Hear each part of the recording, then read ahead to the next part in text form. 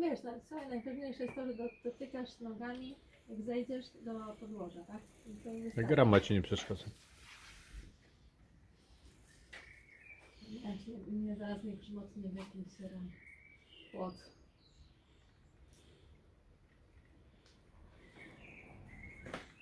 Nie jedźcie tak szybko.